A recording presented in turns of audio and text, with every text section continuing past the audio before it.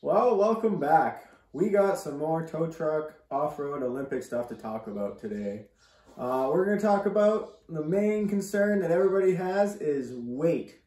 Um, and also stirring the pot a little bit. Not me. Um, Murphy's Diesel is doing that. I mean, with the recovery aspect of it, I mean, there's nobody better than me. Now, that was taken a little bit out of context. Here's the whole clip. Talk about this off-road Olympics. Well, I, I don't really know what it is. I've, I've never heard of it. Uh, I'm not trying to offend anybody, but um, I mean, I'm not opposed to going to wherever they're holding the off-road Olympics. Heard that the off-road Olympics is going to be on buggy trails, and if you don't have four-wheel steering, then you ain't gonna make it. Um, I mean, with the recovery aspect of it, I mean, there's nobody better than me. But yeah, I'd be down. I'd be down to go. Well, I guess we'll just have to try to convince Matt to give him an invite out there so he can uh, prove to us what he's talking about. All right, now on to weight. First thing, um, these trucks weigh all over the place, so I I don't know about you guys, but I think it would be pretty cool for us to have a an actual weigh-in, a real weigh-in before the competition, to see how much these trucks actually weigh, how much is actually on each uh, axle. Uh, how much is actually on each tire. to kind of get a kind of get a weight bias on the trucks. I'm kind of curious about that. I think that would be kind of interesting. Um, but now, a lot of people are concerned about the weight, especially with Eric's truck. They think it's too heavy for the sand, which it very well might be. It is a heavy truck. Um, there's a lot more to consider there though. Tire size, air pressure in the tires, tire type. Um, we're not to get too into that with our math to figure out these trucks and how they compare to each other, but we will do we will do a little bit of math um, coming up. Uh, first, we'll, we'll go over the weight of each truck compared to their tire size, and then we'll do a little bit of math to see how they compare to each other. Um, another thing about weight, being the heaviest isn't always the worst. Um, yes, uh, okay, so you are more likely to sink in the sand, but these are tow trucks. They do need the weight. Uh, all three of the records that are for sure going, Eric's, Paul's, and Rory's, I'm leaving Matt's out because it's not built yet. Um, but those three that have been in the field working, all three of them had problems with the front end coming up. So the lighter the truck, the more likely the front end is going to come up. Um, a lot of times the trucks are used as anchors to winch, so heavier would be better there. Um, I'm not saying heavy's better in every situation. I'm not saying lighter is better in every situation, but it also it all depends on the situation and how the truck is put to use. Now, like I said, tire size plays a big role in that too, and how you drive the truck really, because um, it's not always about weight on the ground. It's about pressure on the ground. Um, I don't know how many people know this, but a human being in high heels, that heel when you step down actually puts more weight, or not more weight, sorry, more pressure on the ground than an elephant's foot, even though an elephant weighs, what, 100 times more than a human? So kind of same concept here. So we'll, we'll go through the trucks right now, look at their weight and tire size, and then we'll do a little bit of uh, very inaccurate math. Now, before I get into this, I want to mention that um, some of this is fact from the YouTubers saying it in their videos. Some of it's just going through comments. Some of it's a little bit is guesswork and speculation. Um, try to be as accurate as I can. If I am wrong with anything, please let me know. So now the first truck I want to talk about is truck that everybody thinks is too heavy. It is a heavy truck, I'm not going to lie. Um, Eric's Big Red Wrecker. Now, I believe in one of his videos, if I remember correctly, I can't find the video again, um, but I believe he said it was 10,000 pounds. Whether that's him guessing or if he actually weighed the truck. With him hauling it all the time, I believe he probably weighed the truck. I would not be surprised. Um, but 10,000 pounds. And he's on 37 inch military tires. Um, he's got six of them, which was another thing that will play a role in it. How many tires you got on the ground? Some of these trucks only have four. Um, now we're going to go to the opposite end of the spectrum. Uh, the lightest one, Rory's truck, Trailmator. Um, 7,000 pounds, so substantially lighter. Um, which another thing with him wheeling is he's got a lot shorter wheelbase, but that's something else entirely to talk about. Um, his truck, he's on 37s uh, according to this website. That was the only information you could find on that. Um, again, on six of them.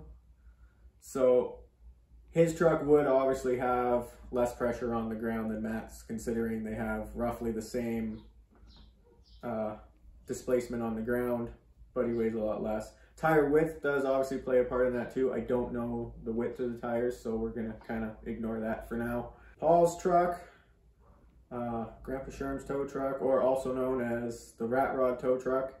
Um, I believe he's on 37s as well. I could, I don't actually know what size tire he's running, but he's only got four of them. And um, I think his truck is going to be um, about the same weight as Eric's, maybe maybe a little lighter. Um, his, his truck, he's not done building it, so it's kind of hard to tell, but he put a big block in it, a doubler, um, he just put a huge boom with winches on it in a, a recent video. Uh, he said in the video that that boom weighs like 2,500 pounds itself. So let's let's say he's at 9,000 for the sake of this video. Now the heavyweight Matt's truck again, he's still building it. Uh, he said in a recent video that he's at 9,000 pounds so far. Um, he stated a few times that he's been shooting for 12,000. He's still got a long ways to go but it's supposedly it's coming in lighter than planned. Um, so for his 9,000, I'm, I'm guessing he'll be probably about 11,000, but we'll see. For the sake of this video, we're just to go with the 12,000. Um, he's on rather large 54s. I saw the tread in the video and saw what type of tire it was, and I was really hoping that he was actually going with 58s. Uh, a couple guys locally to me run that tire and they run the 58s, but Matt went with the 54. Maybe he'll upgrade to the 58s uh, later on.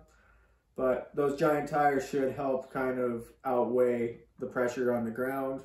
Uh, like he said before many times, that it should hopefully be uh, a lighter footprint than even the Morrvair. There's the four that are for sure going.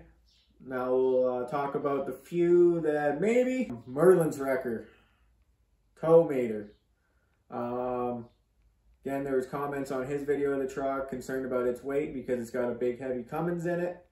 Um, but he does have 44s. I don't know the weight of his truck. I'm going to guess it's about 10,000 with that Cummins in there. Um, he doesn't have a box on the truck, and but he does have a big boom on it.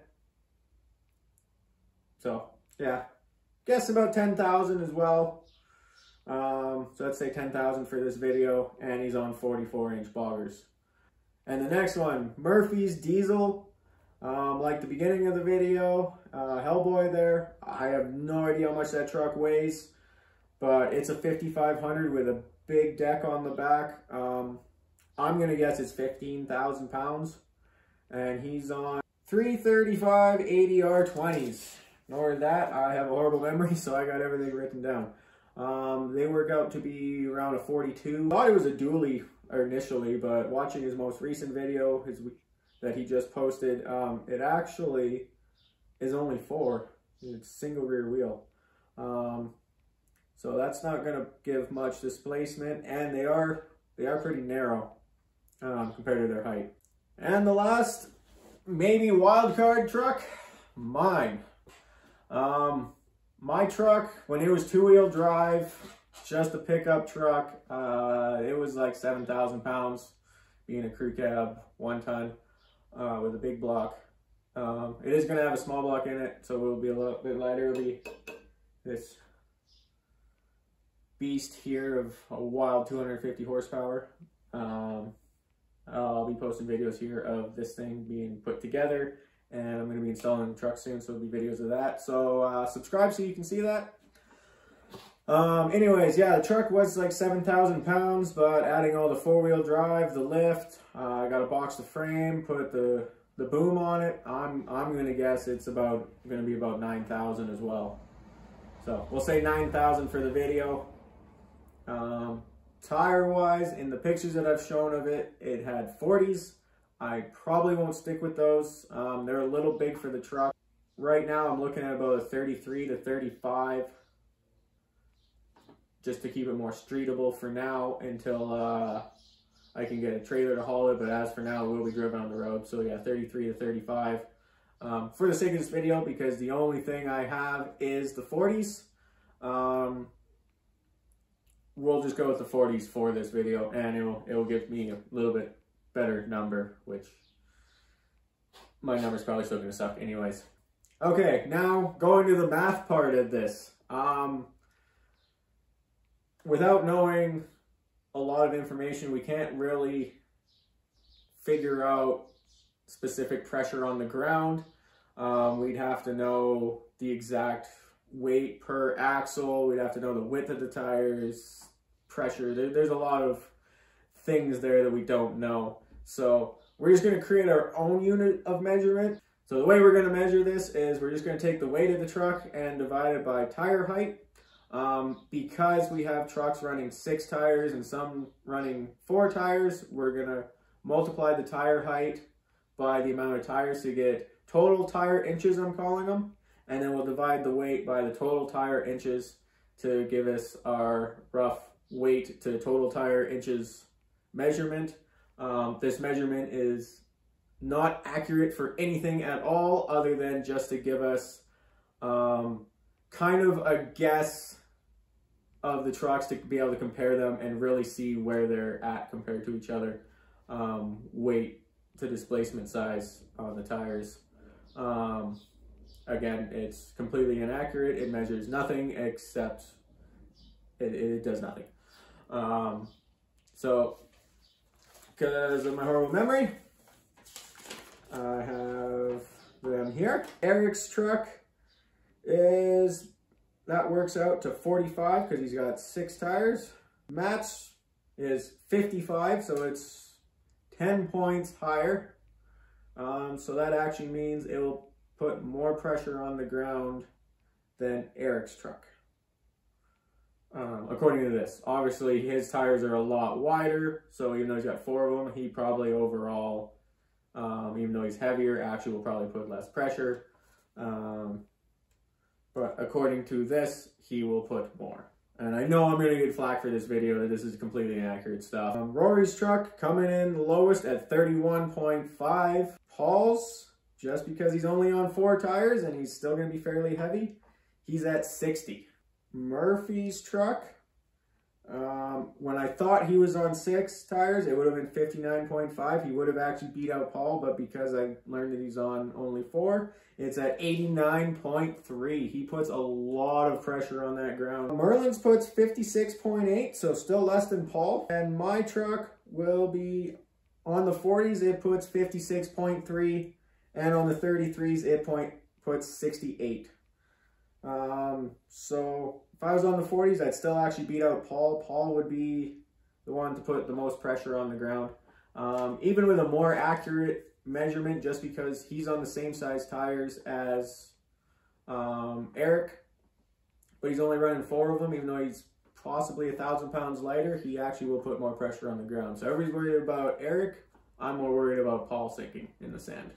An upcoming video, we'll possibly talk about horsepower of these trucks because that'll be a big part. Uh, like I said, I got a screaming 250 horsepower here that we'll throw into my truck. And uh, yeah, hopefully you like, subscribe, let me know your thoughts. Um, let me know how horrible this video was. Thank you.